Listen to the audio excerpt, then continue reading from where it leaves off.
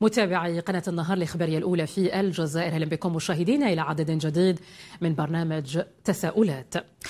ترأس رئيس الجمهورية القائد الأعلى للقوات المسلحة وزير الدفاع الوطني السيد عبد المجيد تبون بالأمس اجتماعا لمجلس الوزراء تناول عروضا تخص القوانين الأساسية والأنظمة التعويضية في قطاع التعليم العالي بالإضافة إلى متابعة مدى تقدم مشروع سحق البذور الزيتية كتامة بجيجل وكذا سير حملة الحرث والبذل موسم 2023-2024 وفيما يتعلق بمخرجات مجلس الوزراء المتعلقة بقطاع التعليم العالي والبحث العلمي فقد صادق مجلس الوزراء على عرض وزير التعليم العالي والبحث العلمي حول القوانين الأساسية والأنظمة التعويضية للموظفين المنتمين للأسلاك الخاصة بقطاع التعليم. العالي.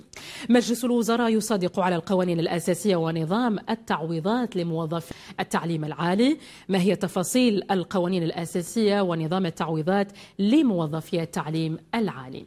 مشاهدينا نقاط وأخرى. نسعد ب أن نناقشها مع ضيوفنا.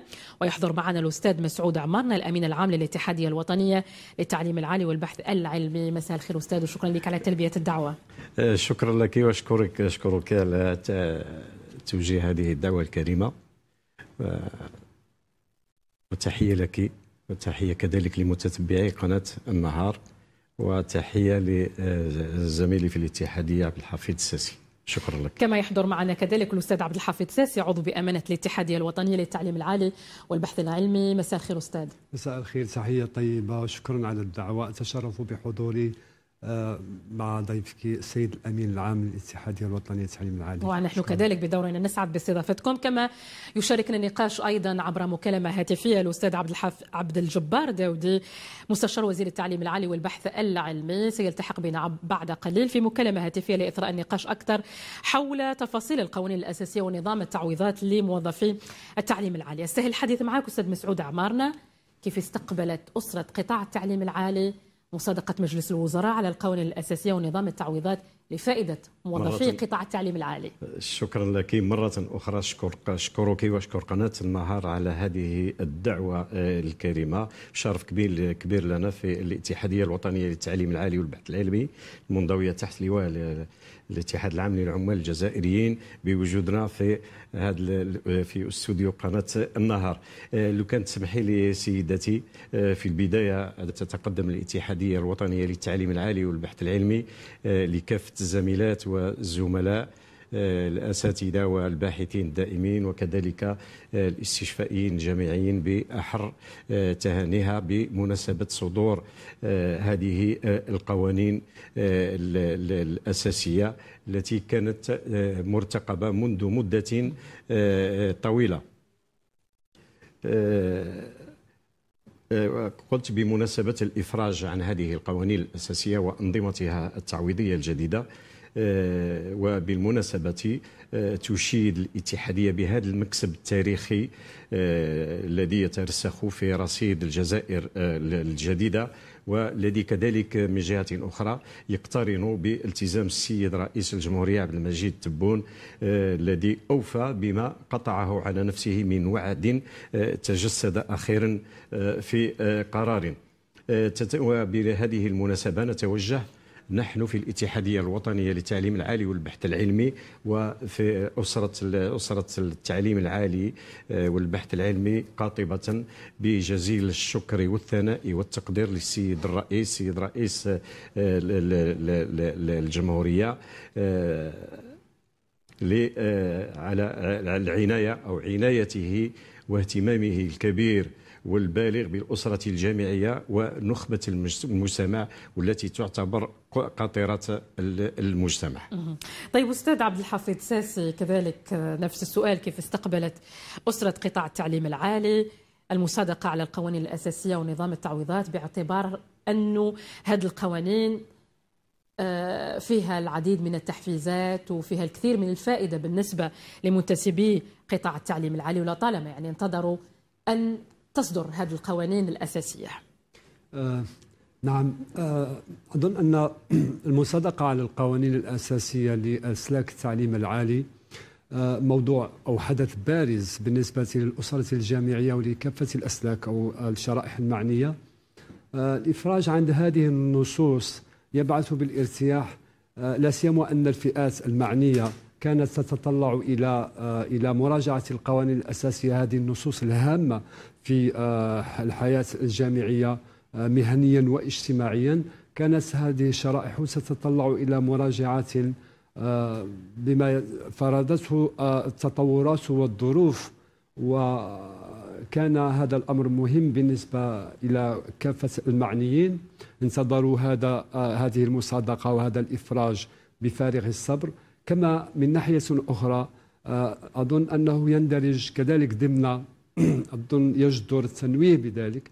ان هذا الأمر يندرج ضمن المطالب التقليدية للاتحاديه الوطنيه للتعليم العالي والبحث العلمي والتي لم تتوانى يوما عن طرحه لكن ليس طرحا سطحيا ولكن كانت دائما آه، تعمل عمل آه، رصد المقترحات التي تجمعها من فروعها المنتشرة عبر الوطن من أجل هذه المراجعة. اليوم كذلك من ناحية أخرى إذا سمحت لي هناك جانب يتعلق كذلك بما يعيه الأستاذ الجامعي بشكل عام أن الاهتمام بالقانون الأساسي إنما يندرج بشكل عام في سياق آه، في سياق ما شهدته الجزائر من آه، ديناميكية حثيثة آه، من أجل من أجل تحيين النصوص القانونية أو تجديد المنظومة القانونية في الجزائر في شتى القطاعات وفي شتى المناحي. أعتبر أن القانون الأساسي هو أحد تلك الورشات والتي نرى الاهتمام والعناية بارزة من لدن السيد رئيس الجمهورية ومن لدن آه، مصالح الوزارة كذلك ومساعيها نرى أن آه، يعني الأمر يتعلق بمنظومة قانونية في تجديد أحد الورشات هي القانون الأساسي. هذه الورشة هامة جدا ولعلنا نرى أن في الرابع وعشرين من هذا الشهر آه، يعني تمت المصادقة على أول هذه القوانين. وهذا ما يوحي بالأهمية المولاة للقطاع وللأسرة الجامعية كافة. خاصة آه، أنه لما نتحدث عن قطاع التعليم العالي نجد أن القطاع اخطى خطوات متسارعة من أجل الأمل على عصرنة القطاع من جهة وكذلك نابع من اهتمام السلطات العليا أكيد. في البلاد بما فيها السيد الرئيس أكيد. واهتمامه بهذا القطاع نظرا لأهميته أكيد. حاليا أكيد لأن لماذا؟ لأنه آه، حتى فضلا عن ما أضفت آه، ما سطرته الآن أمر مهم وهو أن القانون الأساسي كورشة أو كمشروع ثم يعني الانتهاء منه آه، هو يعني في لا ينفصل عن ما يعيشه القطاع من حركية في شتى المناحي كما ذكرت في جانب جانب إرساء استراتيجيات جديدة من أجل المضي بالقطاع آه، إلى آه، أبعد آه، إلى أنماط جديدة في العمل إلى تحسين الحوكمة إلى إرساء الرقمنة إلى وضع أطر جديدة من أجل خلق بيئة تعليمية يعني تكون تتكيف مع المتغيرات المتغيرات. طيب أستاذ مسعود عمرنا لما نتحدث عن هذه القوانين الأساسية ونذكر انه هناك ثلاث قوانين أساسية متعلقة بالقانون الأساسي للأستاذ الجامعي الباحث، القانون الأساسي للباحثين الدائمين، والقانون الأساسي للأستاذ الاستشفائي. نتحدث الآن عن الجانب المالي لهذه القوانين الأساسية، هل لك أن تضعنا في صورة وتعطينا تفاصيل أكثر حول الزياده المنتظرة والمرتقبة لموظفي قطاع التعليم العالي؟ كل على حسب الرتب؟ آه، آه، شكرا لك. آه، ربما في نفس السياق أو في السياق اللي تفضلت تفضلت به وتقدمنا كذلك مع الأستاذ عبد الحفيظ. أعتقد أنه من واجبنا كذلك نتقدم أو تثمن الاتحادية الوطنية للتعليم العالي والبحث العلمي مساعي المراجعة العميقة لهذه القوانين في عملية حرص عليها السيد وزير التعليم العالي والبحث العلمي أيام حرص. إضافة أو آه، إلى جانب كذلك إطارات الوزارة وهي جهود تستحق الثناء والشكر كذلك. بالنسبة كما ذكرت بالنسبة للجانب المالي فيمكننا ربما تلخيص ما جاء في نظام تعويضات الجديد. آه، وهي آه، زيادات أصبحت مقرة أو هي موجودة حاليا آه، فقط ربما الوقت لا يسمح لنا بذكر هذه الزيادات حسب الرتب وحسب كذلك هذه الفئات المستفادة من هذه الزيادات. أعتقد أننا نقتصر على بعض بعض الأمثلة والتي ستكون ربما كافية لإعطاء فكرة على كل واضحة عن هذه النظم التعويضية. واضحة على هذا النظام التعويضي وما جاء به. فأولا بالنسبة لأستاذ التعليم العالي كرتبة من الرتب العليا آه، والمصنف مثلا في الدرجة 6 يعرف زيادة قدرها 40700 آه، دينار جزائري لتصل هذه الزيادة آه، بالنسبة للأستاذ التعليم العالي والبحث العلمي في في الدرجة 12 إلى 54600 دينار جزائري. تعرف الزيادة كذلك في بالنسبة لرتبة أستاذ محاضر ألف المصنف مثلا آه، بالدرجة السادسة يعرف زيادة قدرها 29040 دينار جزائري. لتصل هذه آه، الزيادة بالنسبة لهذا الصنف أو هذه الرتبة إلى 40100 دينار جزائري في الدرجة 12 بالنسبة للرتبة الثالثة والمتعلقة بأستاذ محاضر با والمصنف بالدرجة السادسة لنأخذ دائما هذه الدرجة اللي هي آه، تتوسط درجات آه، الرتب. بالنسبة لأستاذ محاضر المصنف بالدرجة السادسة فيعرف زيادة قدرها قدرها آه، أو آه، بالنسبة لأستاذ المحاضر حتى لا أخطئ با المصنف بالدرجة السادسة يعرف زيادة قدرها 19200 دينار جزائري. بالنسبة لرتبة أخرى تتعلق بالأستاذ المساعد المصنف بالدرجة السادسة فالزياده عرفت آه، عرفت نسبة قدرها 13700 دينار جزائري. لو سمحت لي سيدتي بعض الإضافات. أو بعض التوضيحات أكثر بالنسبة لهذه الزيادات. ف وذلك عن طريق الرفع من قيم المنح الموجودة المنح التعويضية الموجودة وذلك على النحو الآتي. بالنسبة لمنحة التوثيق. عرفت ارتفاعا في قيمتها المالية من 4000 آه، دينار جزائري إلى 9000 دينار جزائري. بالنسبة كذلك لمنحة الثانية وهي منحة التأطير عرفت زيادة من خمس نقاط إلى 25 نقطة. بمعنى بالنسبة بمعنى أو لنعطي مثال هنا بالنسبة لأستاذ التعليم العالي تقفز هذه الزيادة من 65% إلى 85% آه، المنحة الثالثة معتبرة جدا بالنسبة لكل جدا. لكل الرتب جداً. على مستوى قطاع التعليم العالي في, في في بداية هذه الحصة آه، تكلمنا على ارتياح الأسرة الجامعية وما كنا نترى وهو الجميع اللي كان يترقب هذا القانون الأساسي آه، خاصة وأننا استقبلنا أو كنا ننتظر من خلال وعود السيد رئيس الجمهورية بهذه آه، آه، الزيادات المعتبرة والراقيه كما آه، تكلمنا عليها. قلت بالنسبة لمنحه التأهيل الجامعي التأهيل العلمي انتقلت الزياده إلى 20 نقطة أي من 40 إلى 60% المنحة الرابعة وهي منحة الخبرة. أو كما نعبروا عليها إحنا بالإي بي بي. آه، انتقلت زيادة وهو وهي زيادة مهمة جدا أو معتبرة جدا وتمس كل أو مختلف الدرجات. انتقلت من 4% آه، إلى 7% وهي تمس كذلك آه، كل الدرجات آه، لو سمحت لي آه، ربما نقطة أخيرة بالنسبة للجانب المالي, المالي وما رايحش ندخل في في في آه، تفاصيل أكثر ولكن ما سأذكره هو مهم جدا بالنسبة للأساتذة الباحثين المعنيين بهذه الزيادة.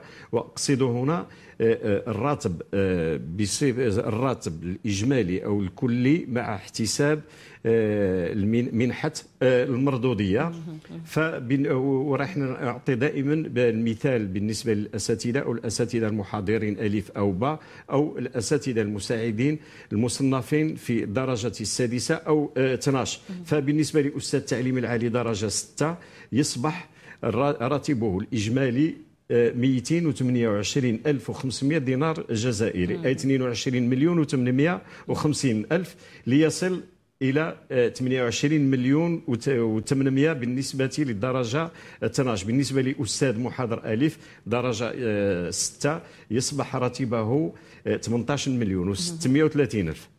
بالنسبة لاستاذ محاضر الراتب تاعو يصل إلى 155 155 و 400 155 ألف و 400 دينار جزائري.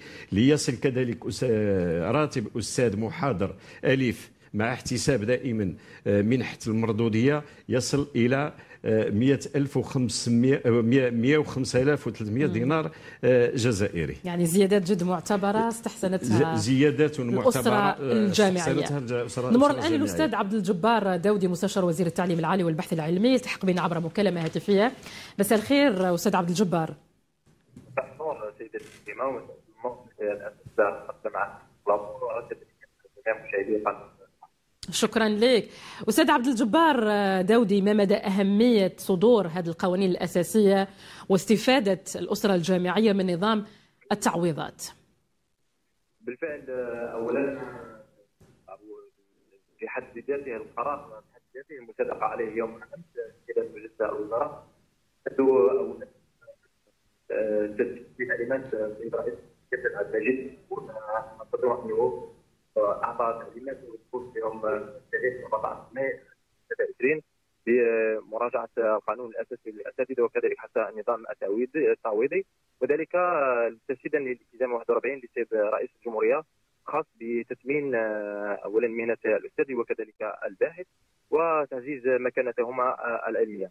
اذا هذا كله ضمن ما يتناسب مع بناء الجزائر الجديدة وكذلك ضمن استراتيجية ورؤية القطاع الجديدة حتى نتمكنوا من تجنيد كافة الطاقات العلمية لمواجهة التحديات التي والرهانات التي تأول عليها السيدة العليا للبلد. طيب أستاذ عبد الجبار في اعتقادك إلى أي مدى راح تشكل حافز كذلك بالنسبة للأسرة الجامعية خاصة فيما يتعلق بالقوانين الأساسية الثلاث، القانون الأساسي للأستاذ الجامعي الباحث، والقانون الأساسي للباحثين الدائمين، والقانون الأساسي للأستاذ الاستشفائي.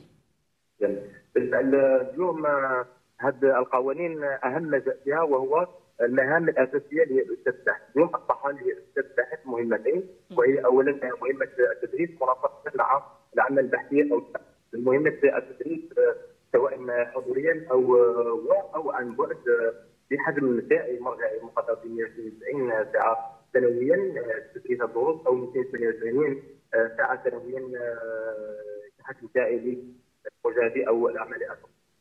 هذا مع ضمان حد أدنى به استطاعه ثلاثي واحد زياده على هذا ما اهم تضمنه قانون الاساسي للكتاب الشفائي والباحث الدائم. هو المرافقه للطلبه فضائلهم وكذلك مؤسساتهم ومشاريعهم الناشئه بالإضافة إلى ذلك سيكون هذا القانون يسمح بتشجيع الحركية عن طريق إقرار وفتح التصرف بالاساتذه الباحثين لدى المؤسسة الفرعيه كذلك مساهمه في حركيه البحث العلمي على المستوى الوطني وكذلك حتى الدولي. في هذا القانون وهو منح رتبة أستاذ مميز لأساتذة التعليم العالي الذين لديهم أكثر من 15 أو 15 سنة على الأقل في رتبة أستاذ تعليم عالي وبعض الشروط الأخرى منظمة في النصوص والتشريعات المنصوص عليها. وكذلك سوف يتم منح درجة أستاذ مميز حتى للأساتذة المتقاعدين كلقب فخري على سبيل التزكية دون أثر مالي. هذا تم إحداثه لأول مرة. مع كذلك من بين ما جاء به القانون الأساسي الباحث وهو إلزامية تكوين أساتذة حديثي التوظيف وهذا التكوين يكون ملزم بنجاح للتفصيل وتم الاستغناء عن ما يعرف باستاذ مساعد قسم باء وأستاذ مساعد قسم الف يصبح فقط الاحتفاظ بتسمية أستاذ أشكرك جزيل الشكر أستاذ عبد الجبار داودي مستشار وزير التعليم العالي والبحث العلمي شكرا لك على هذه الإيضاحات التي قدمتها فيما يتعلق بالقوانين الأساسية والنظم التعويضية. ضيوفنا وكذا مشاهدينا فاصل ومن ثم لنا عودة ابقوا معنا. أهلا بكم مشاهدينا نجدد التحية لكل متابعي قناة النهار الإخبارية الأولى في الجزائر. نعود لاستكمال النقاش مع ضيوفنا ونمر الآن للاستاذ عبد الحفيظ ساسي عضو بأمانة الاتحادية الوطنية للتعليم العالي والبحث العلمي. مساء الخير مرة أخرى. أستاذ عبد الحفيظ لما نتحدث عن ثلاث قوانين أساسية اللي تم المصادقة عليها بالأمس في مجلس الوزراء ما هي أهم النقاط التي تضمنتها هذه القوانين الأساسية؟ آه، باختصار لأنه ربما الحديث عن كل أكيد يعني كل قانون وما نعم. فيه؟ راح يأخذ حيز من الوقت. بالأهمية التي ربما آه، قد يكون النقاش حول القوانين الأساسية يعني آه، قبل يعني آه، حصولي عليها أو نشرها في جريدة رسمية قد يكون نقاشا غير كامل. لكن أنا حبيت أن وصلا بما تقدم به السيد الأمين العام بروفيسور عمارنا فيما يخص آه، ذكره للجانب المالي. آه، بصفة عامة بالنسبة للقانون هناك جانب آخر لا يقل أهمية عن الشق الآخر وهو الشق المتعلق ب ربما خمس عناصر نسردها ولا قد يعني الوقت ضيق لشرحها لكن هي واضحة. مثلا في هذه القوانين الأساسية آه، عنصر الاهتمام بعنصر تعزيز الحريات الأكاديمية. نعلم أن الحريات الأكاديمية كمفهوم آه، آه، يعني أساسي في مرفق التعليم البحث العلمي. سواء يعني في جامعات يعني نعرف جامعات عالمية إلى غير ذلك. تعزيز الحريات الأكاديمية هو بمعنى أن الجامعة هي جامعة مواطنة والجامعة هي حرم بمنارتين منارة للعلم والبحث والتطوير آه، وخدمة المجتمع ومنارة كذلك لتكريس السلم وثقافة ثقافة السلم ونبذ العنف آه، والسلوك الديمقراطي وخدمة المجتمع أي جامعة مواطنة. آه ثانيا عنصر الآخر الذي سيلمس في هذه النصوص في طيات هذه النصوص هي المساهمة عنصر المساهمة في خلق البيئة الملائمة لتشجيع الطلبة. لا يمكن أن نتخيل أن الطالب يعني هو يدرس في ظروف ما تكونش مناسبة نعم ولا مواتية. أكيد أكيد. ذلك تحفيزا له لأننا ننتظر منه أن يكون مبدعا وخلاقا. آه، فالاهتمام بالبيئة الملائمة أمر أساسي. ثالثا آه، جانب لا يقل أهمية عن العنصرين السابقين تعزيز روح المقاولاتية بهدف خلق الثورة الثروة.